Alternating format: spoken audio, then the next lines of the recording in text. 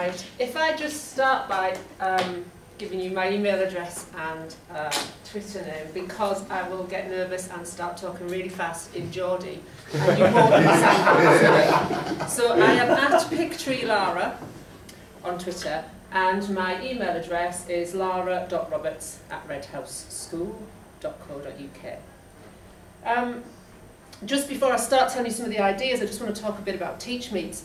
I have always taught in a one-person department, and um, and it's always been quite difficult to sort of get any sort of help with anything, um, and to sort of try and develop the curriculum and sort of brainstorm ideas. Um, and I got onto Twitter, and then through that got on to, uh, through to Teach Meets.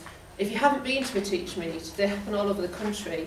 There is a website, if you just Google Teach Meet, there's a PB Works website, and they happen all over. There's also a very big event in the northeast called Pedagoo Wonderland, which is happening at uh, Christmas time. Pedagoo is very similar to Teach Meet. It started in Scotland, but now happens again all over the country. But you can follow that on Twitter, and a lot of the presentations are shared on Twitter.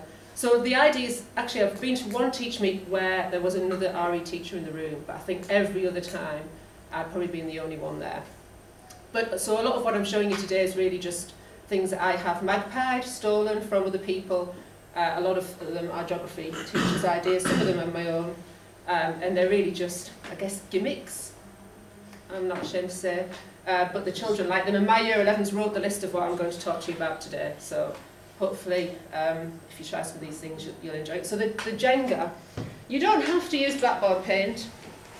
I had some because I've got children who painted a blackboard once uh, in, our, in our house. So the idea is you would play Jenga as you would normally, stack them up. Usually I might have four or five sets on the go if I'm teaching a full class and they take a block and whatever word that is, they've got to say something about it. It might be a definition, it might be an example of a belief, whatever it might be.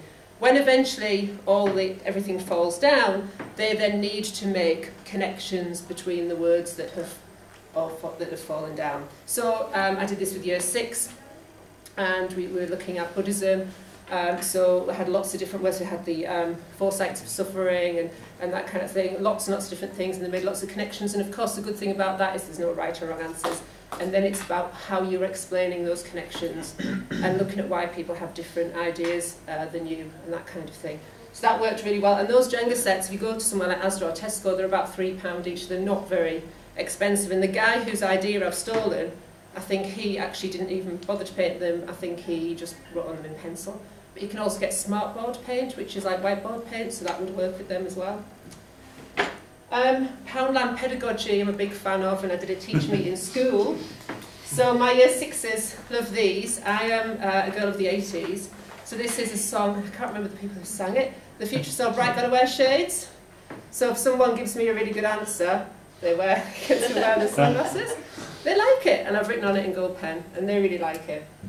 Uh, another thing I bought from Poundland, eggs. Obviously they are seasonal. Um, but, but if you go to Poundland, um, so what I did with these in my GCSE classes is I put a GCSE question in them. I do Edexcel, so I put a GCSE question in them and I numbered them all. And then they had to go take the GCSE question out and write part of the answer leave the part of the answer out and take the question.